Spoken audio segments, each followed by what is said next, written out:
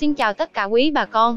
Do giá mít có thay đổi, nên mình sẽ tiếp tục quay trở lại để cập nhật giá mít mới nhất cho bà con tham khảo, nắm bắt tình hình giá một cách chính xác nhất. Cảm ơn tất cả quý bà con đã luôn đồng hành và ủng hộ kênh A Huy Vlog trong suốt thời gian vừa qua. Sau đây là phần báo giá mít thái của một số khu vực ở miền Tây, các tỉnh miền Đông và khu vực Tây Nguyên. Bà con lưu ý, đây là giá lái mua tại vườn cho bà con tham khảo và có thể chênh lệch từ 1 đến 2 ngàn đồng trên kg, tùy vườn, tùy lái và tuyến đường vận chuyển xa hay gần so với vườn mít. Theo thông tin mới nhận được từ anh em thương lái, thì giá mít thái tiếp tục tăng nha bà con.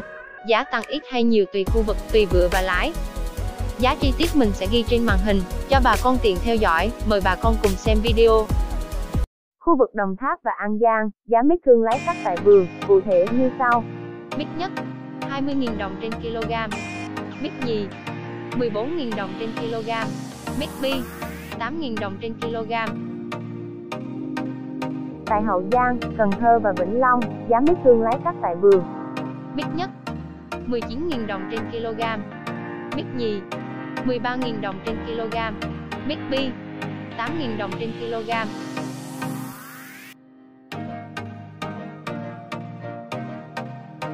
Tại Long An, giá mít lái cắt tại vườn. Mít nhất 21.000 đồng trên kg. Mít nhì 15.000 đồng trên kg. Mít bi 9.000 đồng trên kg.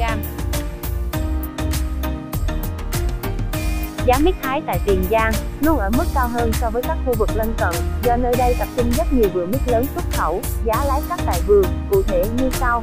Mít nhất 22.000 đồng trên kg. Mít nhì 16.000 đồng trên kg.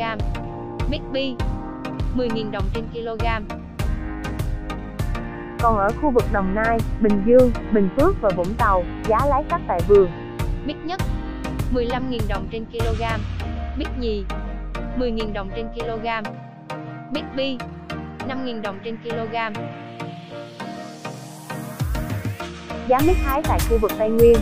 Mít nhất 13.000 đồng trên kg trên kg. Mít bi 4.000 đồng trên kg. Cảm ơn mọi người đã dành chút thời gian để xem video của mình. Nếu thấy hay, hãy like và đăng ký kênh A Huy Vlog nhé. Mình sẽ thường xuyên cập nhật giá mít cho bà con mình theo dõi để bán cho đúng giá. Tạm biệt các bạn. Hẹn gặp lại các bạn trong những video tiếp theo.